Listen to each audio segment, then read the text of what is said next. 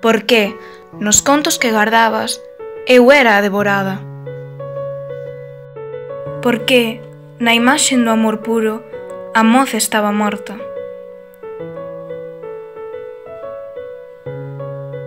Porque no mito que te ceches urdiches o abandono. Porque no afán de posuirme cegaches os meus ollos.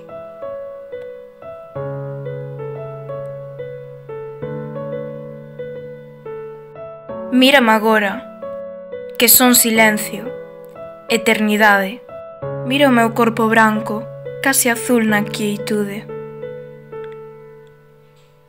Son Ofelia de novo, aboiando nas augas. Arrastrada na historia dun mundo a túa imaxe. Ofelia case azul, xa para sempre muda. Inmóvil perfección de obxeto posuído. Ergue a man, Ofelia, esa man que aínda leva. O sangue, a pel, a proba do delirio cobarde. Como se pode amar o camiño da morte?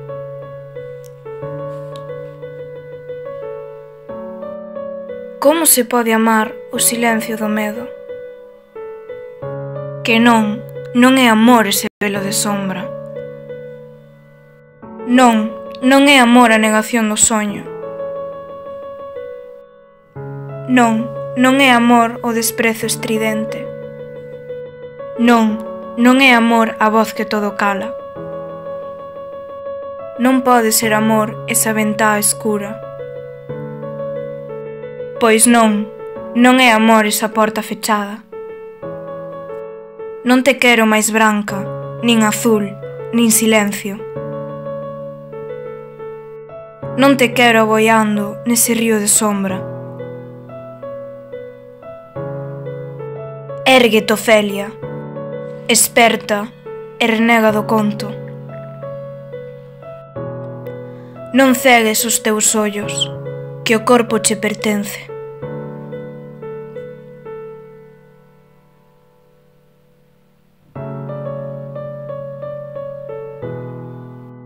Renega dese mito que mata as túas entrañas. Renega do amor puro que te viste de morte.